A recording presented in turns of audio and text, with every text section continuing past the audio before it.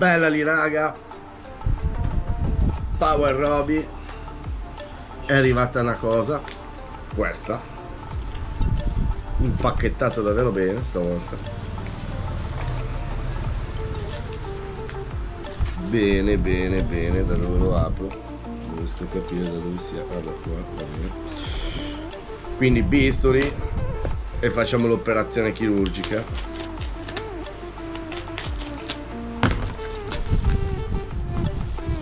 ok. Unboxing. Unboxing. Unboxing. Yabadu Yabadabada eccolo qua. Boom. Questo è un metal detector pinpoint pointer. È dive quindi è subacqueo. O almeno così si spera il pacco è leggermente segnato qua ma vabbè chi se ne frega. Apriamo e dentro c'è dentro c'è una busta con delle parti che servono a collegare questo metal detector che è manuale per poterlo collegare ad un'asta in questo tu lo puoi collegare ad un'asta e usarlo come fosse un metal detector normale. Poi c'è il libretto di istruzioni in inglese.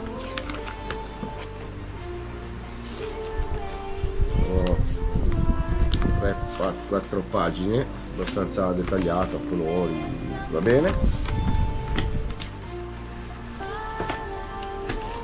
dopodiché all'interno c'è questo qua che è che è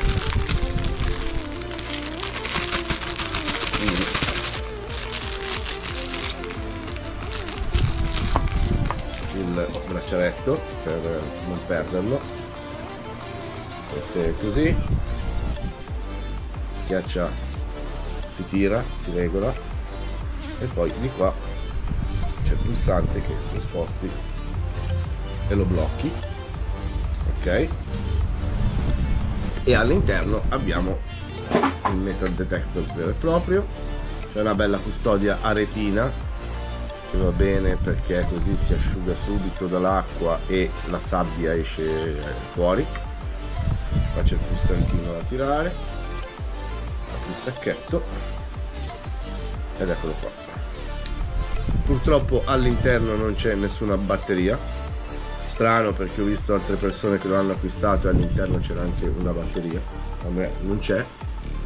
Pazienza. O meglio non mi importa perché utilizzerò questa che è ricaricabile. L'ho comprata apposta. E qua c'è il metal detector che giri lo apri lo puoi usare così oppure lo puoi fissare qua a un'asta lasciarlo così e usarlo come un metal detector normale. Nel mio caso verrà usato così. Qua c'è la regolazione. Da qua lo regoli lo stringi. Ok? Ci sono due pulsanti belli bellissimi in gomma. Cliccano bene facile. E, um, uno è l'accensione e l'altro c'è la, la F di funzione tasto funzione. Qua c'è per attaccare il cordino. All'interno della busta ci sono anche degli adesivi rifrangenti rifrangenti che così in acqua non lo perdi lo vedi eccetera va bene non penso di applicarli non mi interessano non mi servono a niente. Però ci sono. Poi c'è una barra filettata un perno e due cappucci che si avvitano appunto su questa barra filettata che poi inserisci all'interno di questa parte qua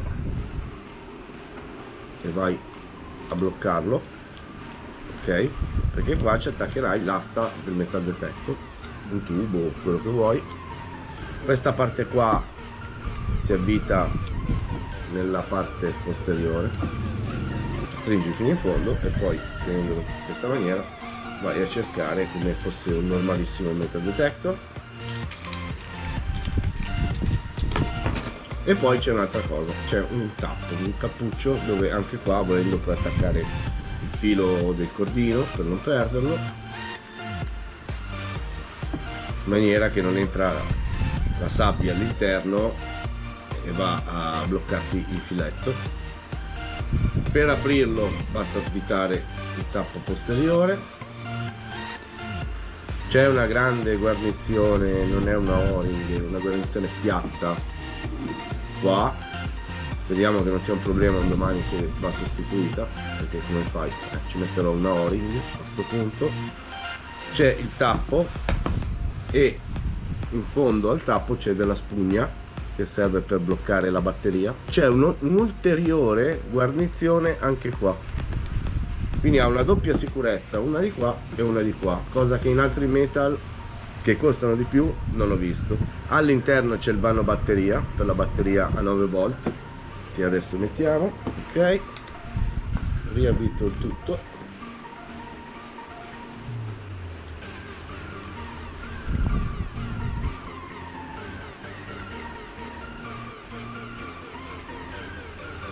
Riavvito il tutto. Un suggerimento? Se lo acquistate anche voi eh, io suggerisco di mettere molta vasellina sul filetto, sulle guarnizioni sia, sia, su questa qua sia su quella interna dentro il tappo così sicuro che non penetra l'acqua e non si seccano le guarnizioni. Niente una volta inserita la batteria andiamo ad accenderlo. Va mantenuto premuto. Ok è acceso. Prendiamo un pezzo di ferro telecomando.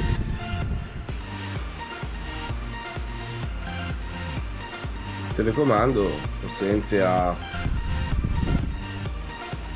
12-13 cm quindi è abbastanza buono. Adesso mi suona anche la GoPro. La GoPro la sta suonando a, a 40 cm suona la GoPro. Quindi direi che è molto potente. Con il tasto funzione puoi mettere che non lo so va mantenuto premuto penso esatto. Adesso vibra e basta. Se lo mantengo premuto ancora suona e basta senza vibrare. Se lo tieni premuto ancora vibra e suona. La cosa bella di questo pinpointer ed intelligente è che è davvero davvero bene. Per spegnerlo basta mantenere premuto il pulsante di accensione la cosa molto interessante di questo metal detector è che è pieghevole. Quindi così volendo se hai una tasca capiente lo puoi mettere in tasca addirittura. È davvero piccolo una volta chiuso è lungo poco più di una spanna poco più di una spanna quindi molto molto molto bello interessante. È più corto di un pinpointer normale anzi vi faccio vedere. Ecco questo è il GP pointer. Un pinpointer veramente economico ma ottimo. Si sente anche lui molto bene. Per quello che costa costa davvero una stupidata. Va vale la pena acquistarlo. Non è subacqueo va bene se usi su terra in terra o anche in sabbia asciutta. Funziona davvero molto molto bene. Non dà falsi segnali questa è la differenza di grandezza. Beh no. Diciamo che è appena appena più lungo questo de, di questo il GP pointer. Bene, eh, la cosa molto figa di questo scuba tector, di questo um, pinpointer dive è che beh oddio pinpointer no di questo metal detector subacqueo la cosa bella è che rispetto ad altri essendo pieghevole quando lo apri hai una bobina che è enorme. La bobina è davvero davvero grande. Ecco perché ha molta potenza. E in più è pieghevole lo metti in tasca nello zainetto. Rispetto allo scuba tector che è lungo così e non sai mai dove metterlo ci vuole sempre comunque vado uno zaino in bitta perché uno zaino più piccolo non ci starebbe. Questo invece lo fitti dove vuoi. Questa è la copia il clone del um, Quest Scuba Tector Pro. È un clone. Ma non è detto che sia un clone anche perché comunque vada li fanno entrambi in Cina quindi cambia niente solo che questo non ha tutte quelle funzioni che ha il Quest. E per me sinceramente è meglio questo perché più funzioni hai più magari te le dimentichi. Sono tutte cose inutili che non servono a niente e che anzi fanno diventare la scheda elettronica e tutto il sistema molto delicato. Io le istruzioni dello Scuba Tector non me le ricordo mai tutte le volte mi fa impazzire. È davvero leggero non pesa molto anche perché la batteria che ho messo io all'interno pesa la metà di una batteria 9 volte normale quindi rimane molto leggero. Ho visto in alcuni video che in acqua galleggia rimane così. La marca di questo detector dye è impronunciabile.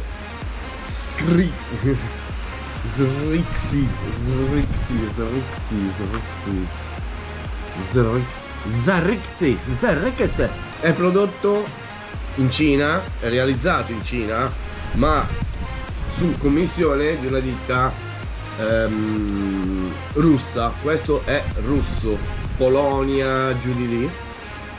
Infatti tutti i video che io ho trovato su YouTube che parlano di questo, ce ne sono tanti ma che ti fanno solo l'unboxing. Invece noi faremo di più, faremo i video in acqua con la telecamera, tutto, una recensione completa e dettagliata, non in questo video chiaramente, perché oggi tra l'altro piove, non posso neanche andare al mare, cioè, sì, volendo potrei, ma non ci voglio di bagnarmi in moto.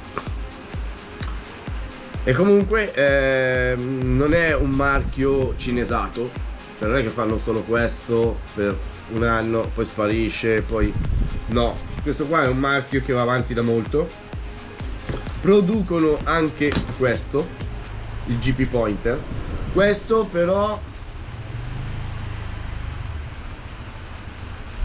è della G-Point non è della stessa marca ma lo producono anche loro questo. E a parere di tutti questo è quello che non vale molto che dicono che ha problemi. Io l'unico problema che ho trovato in questo è che si spacca la plastica qua del tappo dove vai a abitare si è rotto, l'ho incollato in mille punti.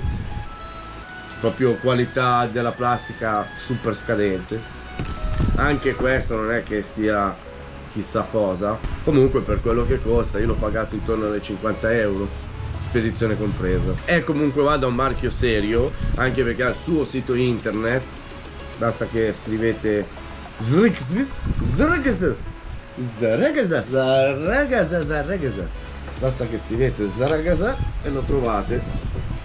Adesso vi faccio vedere bene il marchio il nome questo questo è il nome. Ok? E infatti russo russo. Sul loro sito producono una marea di cose tante fanno anche abbigliamento metal detecting borse cose ehm, pale, se non sbaglio vendono anche delle pale, e vari metal detector. Questo, questo sul loro sito non c'è.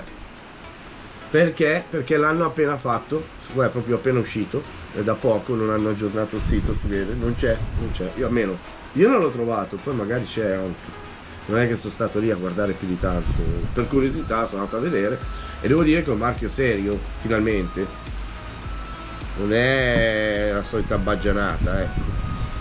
niente eh, questo è quanto non vedo l'ora di provarlo magari domani magari no domani no perché me ne arriva un altro il copia la copia del Nocta Macro Pulse Pus dai, non vedo l'ora di provarlo. Dammi una monetina, va? Dunque, collana d'argento. Collana d'argento. Va bene bene. 8 cm quasi. 7. Qua poi sono dentro la gabbia di Faraday, eh? Qua c'è tutta la. la. la. la voliera. Quindi metallo qua c'è una cifra. Alle mie spalle ho delle casse da... Ah, questo qua è proiettore, stavamo guardando un film. Ho delle casse da 1000 watt e c'è una marea di magnete e rame, eccetera, che questa la sente, vediamo da quanto la sente. Oh. 50 centimetri. 50 centimetri a mezzo metro a mezzo metro la sente. È potente sta cosa non sembra eh, è un vero metal detector solo che in miniatura. Questo è pulsato è un pulse tecnologia pulse che rileva tutti i tipi di metallo. Non rileva bene l'oro di piccole dimensioni però sul mineralizzato e qua la spiaggia è nera nera nera come il carbone questo è l'unico metal detector che funziona. Gli altri non vanno non vanno non puoi neanche accenderlo. Tu prendi un Garrett Ace un, un VLF e lo accendi inizia a suonare da solo senza neanche avvicinarlo al terreno inizia a suonare da quanto è mineralizzato qua. Bene facciamo un piccolo test. Questa è una moneta da 25 centesimi